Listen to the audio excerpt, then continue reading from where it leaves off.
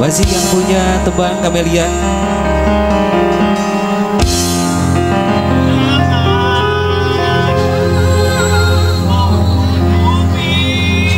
ah,